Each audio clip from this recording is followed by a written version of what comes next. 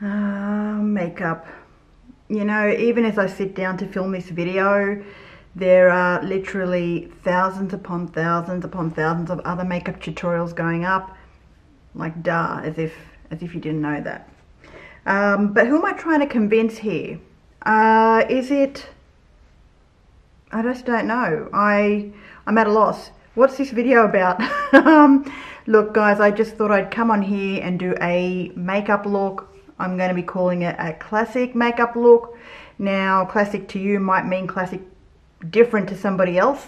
And why did I decide to come on camera and talk about my woes of makeup? Well, I just feel like we're going around in a regurgitating circle here and as I try to explain why I'm a little bit frustrated is just the intoxication of trends that are going around at the moment. And you know at the end of the day makeup is makeup. Do with it what you will. Don't eat it. Put it on your face. Play with it. Yes you want to make sure you have makeup that complements your face and your skin tone and all that sort of stuff. And that's why I love doing these tutorials because not every person is going to benefit from every single makeup look that I do or you do or whatever. You know, what looks good on someone else will look terrible on you. What looks fabulous on you might look terrible on someone else. Going from one extreme to the next, if you know what I mean. Anyway, let's just go on and put some foundation. I am going to be using this one because I bought it and I haven't been really using it. It's a Natasha Denona. What's it called? Oh.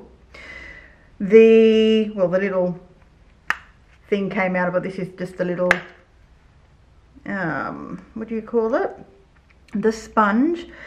The Natasha Denona Hy-Glam Powder. And this is it here. And honestly, I do love this. When I reviewed it, I really, really loved it. It's so silky. It's so smooth. And the sponge that comes with it is great. So just simply going to swipe down once and I find that I have to do a swipe per face well per face per part of my face. So as I apply this to one side of my cheek I will find that I need to obviously keep doing the same. And you can build it up and sheer it out and whatever you want to do. But I just you know, trends will come, trends will go, reinventing the wheel will keep happening. You know, what have we got left? Makeup companies are just simply, you know, um, wanting to just get your attention, wanting you to buy. Why has it come this way? Well, we've only got to blame technology, right? I mean, you know, people want to look a certain way. People are influenced a sort of way. They see media making, you know, someone's famous face look absolutely extravagant. You know, then there's, you know, you can go the whole route of, you know, full glam or no makeup, you know. And this whole like, you know, correct way of doing eyeshadow or not wearing eyeshadow or is it too much or is it too little. I, I've just, I've run out of um, explanations, if you know what I mean. If you can feel my sense of frustration, um, leave it in the comments below because makeup has now become a tool that could just, I don't know, make you feel like less enjoyment or make you feel guilty of even like liking it if you sort of get my gist.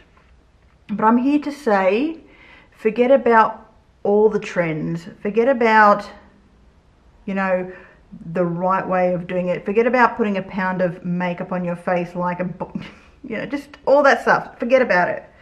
Today I'm just here to do a classic, simple makeup look and just to, you know, voice my concerns. Well, they're not really concerns, but just my frustration. And I know this video will probably never reach the wider audience that I would hope it to because I am such a small channel and you know I just I'm not very good with articulating what I want to say. Everything that I want to say in my head does not come out, and I don't like scripting, so I just try to, you know, talk as realistic as I can. And um, I think that's about it for the foundation. As you can see, I love it because it gives a smooth, well, not that you can feel it, but it does give a beautiful smooth um, finish to the face. I do have a sunscreen on underneath here. Uh, I washed my face this morning because I hadn't washed it last night. So I washed it this morning, patted it dry, put on some sunscreen, and now I'm just simply applying this foundation over it. Okay, going in with a little bit of concealer. I really, really have been loving the Colorstay Skin Awaken 24 Hour Concealer. This has been just a pleasure to use and it's been really meshing well with my 49 year old skin. And for those of you who are older or younger, age is nothing but a number, you should feel comfortable wearing any kind of makeup that you like, whether it be, you know, um, a heavy eyeliner, go for it. If it's something to be a subtle eyeliner, go for it. If you want to do the no, no makeup, natural makeup, foundation free look, go for it. Do what pleases you and just don't worry about it. I have people who have been sticking to their whole makeup regime their whole life. It never changes. Maybe the lipstick you know, maybe the lipstick shade changes here and there, but aside from using the same products like, for example, Revlon or Estee Lauder or whatever it might be, some people have never ever ventured off and they will be so loyal to those brands because it works for them. And is it because they're afraid to try something else or, you know, it doesn't make them less fashionable than someone else who's using the latest trend. Because believe it or not no one in the world is going to keep up unless you have 10,000 companies sending you products every damn day to try their product you know um, well then I feel sorry for you because how do you do it? How do you do it? Anyway I'm just simply patting this over the eyes. I'm just using this as a lid primer as well and I'm just going to work that concealer in with my fingers. I think the less is more when it comes to doing concealer. Don't buy into the hype. Do what you want to do. If something, you know, catches your eye, I mean, I love watching new products come out. I really do. I love it. But if I were to buy every single product to try, I mean, I'd be pretty much broke and then some, right? And no, I don't have PR companies reaching out to me because like I said I'm a nobody and that's just the way it is and do I like it that way well no of course I'd like my channel to be a little bit more bigger and obviously have a lot more followers and all that sort of stuff and just to be honest just a lot more views but that's something I'm working on and it's not the be all or end all. I just simply love to do makeup. I love to show people how to do different looks and that's what I enjoy.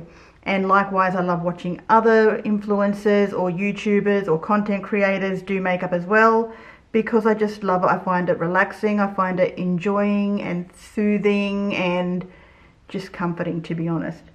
Okay, that's done. Now I'm going on to do some eyebrows. Some eyebrows. Using my favorite Kush Fiber. Woo! There it goes. One moment. Okay, back. Just my Milk Makeup Kush Fiber Brow Gel. Really love this product. It is lovely like the uh, the Glossier Boy Brow, which I'm going to purchase, but I do have another backup of this Milk Makeup to use, and I will continue to keep purchasing this because it's the best brow product for my eyebrows. And all I'm saying is I'm not fussy when it comes to eyebrows because whilst I do have hair for eyebrows, I find this product works best. Now, if you have minimal hair, my mum, she's pretty much plucked her eyebrows off her face, uses a, a pencil to fill them in. And she, you know, they're very, very, very thin, but she just does like one, two, three with a pencil and it's done. And, you know, that's fine. That is fine. And then there's people that can use a myriad of different products to do their eyebrows. That's fine too. But for me, it really is probably the least favorite part of my face to do. uh, but I do like doing them with this product because it's just like a one and done. And yeah, so that's all I'm going to say about that. Alright, so I hope you guys have all been well. I have decided that I'm just going to try to keep it real. I mean, that's what I have been trying to do on this channel, but you know, there's just so much hype and hoopla out there, especially with TikTok, you know, and and all these trends. And don't get me wrong, I've fallen for them. I've done them to obviously, you know, get attention in terms of um, different types of trends and all that for fun, you know. And I just thought enough's enough. Like I just want to do makeup, and I just want to do makeup that is real. That's it. That's all. That's all I'm saying.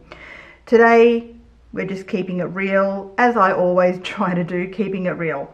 To keep it even more real, I'm going to pause the video because I don't want to bore you with um, how long it takes to do eyelashes and I'm not doing any eyeliner today. I'm just simply going to be putting on brown mascara. This is the it's an oldie by e.l.f. it's the Lash It Loud volumizing mascara this one here.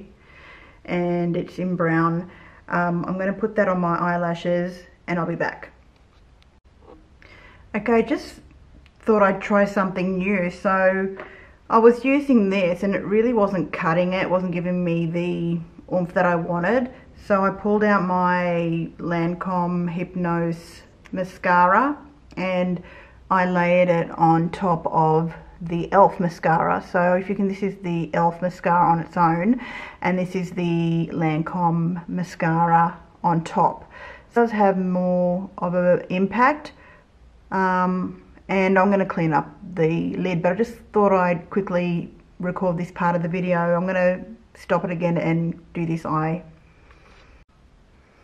Okay, so mascara is done. Top lashes, bottom lashes. Yes, I mixed them together for my eyelashes. Now we are going to do some hmm, inner corner highlighting. I think will be nice to make the eyes sparkle and pop a little bit. So I'm just getting a pencil brush and I'm dipping into one of my favorite highlighting products of all time, the Fenty Beauty. This one's in the How Many Carats. It's a Diamond Bomb highlighter. This one there, oh, you, is that, you see Bloom over there? Let me just see if I can zoom you guys in. I don't know if you can see her, she's in there.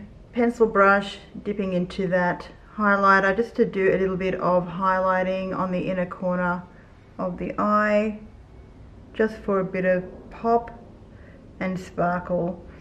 And um, what I love about this highlighter is it's iridescent as well. Just putting a bit more. Okay. That's all you need. All right time for blush. I was going to do contour, but you know what? Lately I've just been doing bronzing as my contouring and yeah. So um, I'm going to be mixing two shades of bronzer today. I'm using the, and only because I haven't used it in such a long time, the Diffused Bronze Light Ambient uh, Bronze by Hourglass, which is this one here.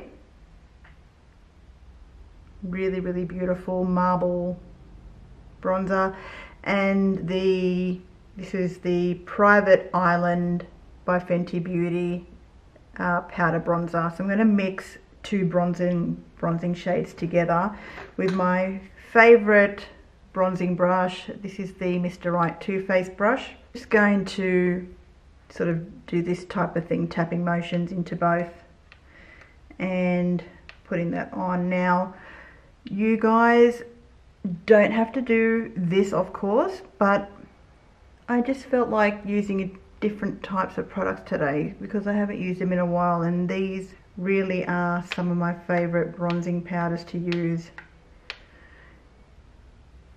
and yeah a little bit across the nose.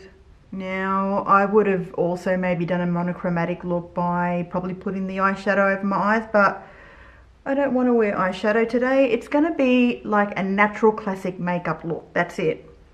Do I need more? Yeah, use a bit more. I'm feeling like I just want to be summery. Taking that high up, sort of under the eyes as well.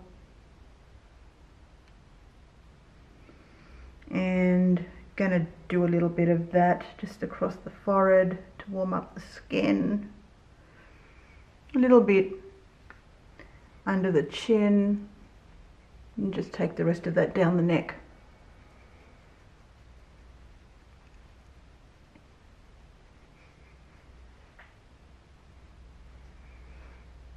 Okay. Yeah, I'm liking that. I'm liking that a lot. If you feel like you do want to do a little bit of powdering under the eyes, I definitely like the Pat McGrath. This one is the Skin Fetish Sublime in Light. Um, but it's it's just a beautiful product to put under the eyes if you want to powder and not have it looking cakey. Another one that is really good is the AOA Beauty Powder. It's only a dollar. It's fantastic. Um, I'm sure there's 10,000 products that are out there that would do the same. Now, it's time for lips. I, just to let you know, I had like 12 other products sitting here, maybe 14 other products sitting on my table that I thought I was going to use up today. And you know what? I don't need to. So I do have two lip liners here and I'm wondering which one I need to use for complementing this shade of lipstick. This is by Guerlain. It's an oldie but a goodie and it's called uh, Beige Plume and it's a beautiful nudie pinky shade and uh, hi Bloom hi baby let me just show you my baby my baby girl. Hold on. Hi, Dylan. Hold on.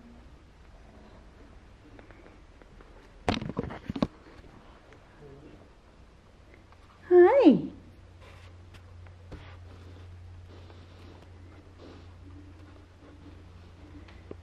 My beautiful girl. sorry for the lighting, but uh, it's dark on this side and that's why when I'm filming it's it's a bit lighter obviously so putting this back and obviously I put this back here and now probably lost all the focus and this is lopsided now because that's just how it is all right sorry about that guys all right lips. So as I was saying, uh, lip liner that I'm going to be using to complement Beige Plume. This one, I know there's a lot of different um, uh, different variations of the Givenchy. It's not Guerlain, it's Givenchy. My apologies, this is Givenchy. Okay, Givenchy.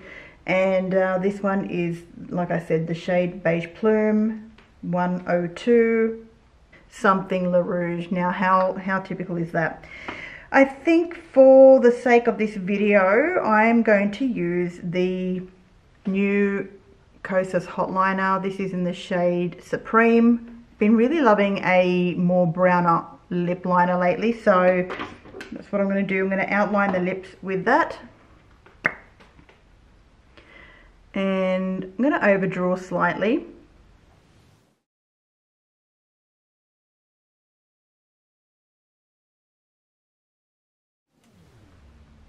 and then I'm going to fill in the lips with the beautiful shade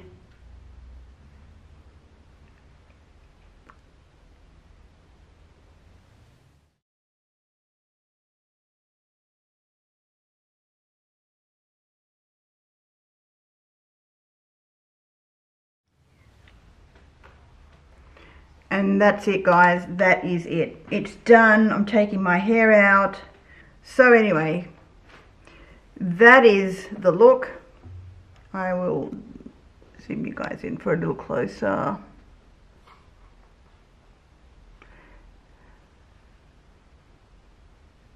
Nice, natural. Yeah, you can see my lip line, I don't care. But I think it looks pretty. Yeah, so guys, thank you so much for watching and um, I'm just going to try and keep it real. think that's just how I best roll. See you in my next video soon. Thank you so much for watching. Love you and leave you. Bye for now.